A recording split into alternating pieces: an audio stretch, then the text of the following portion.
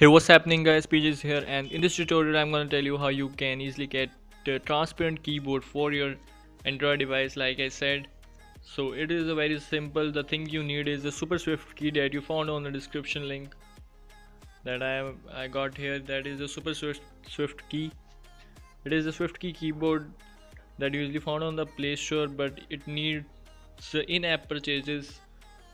For that you have to download from the description link that have already all paid themes but apk is too large that is approximately of 125 MB you need to download all the files.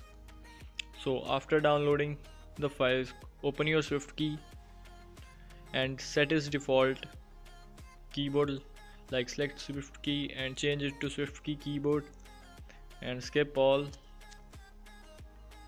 If you want to personalize you can personalize or you can use you can also sign in with your google to get a backup or sync if you used already. So I don't need this for so the thing we need is go to themes.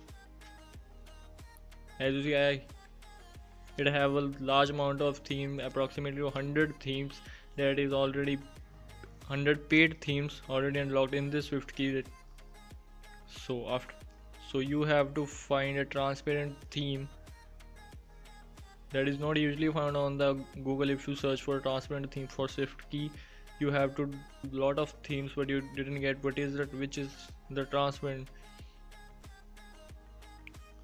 So to get the transparent theme you have to select DJ's clear Android L. The DJ's black Android L is not transparent Android L2 is also not transparent. Dj clear android l2 and clear android l are both trans transparent but not working on whatsapp and some other apps. Like i am going to use dj clear android l. And here i go. Actually and it's all not transparent on on some apps as i said so it's not working here. Let's check on the other apps like es file explorer i have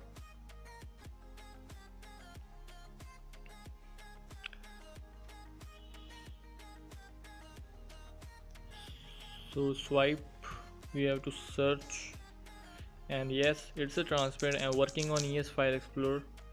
Let's check it on another app like uc browser. They are daily routine apps. So let's check and go to google search box. And yes it's transparent but not as much but it can be easily writable and executable so so that's all you get your transparent keyboard for an android device with super swift key. Don't forget to don't forget to hit like hit like button if you like the video. Please press the subscribe button. And also if you need tutorials for flashing guides modding roaming ports or other stuff just join our facebook group that you found on the description link. Thanks for watching guys. Stay tuned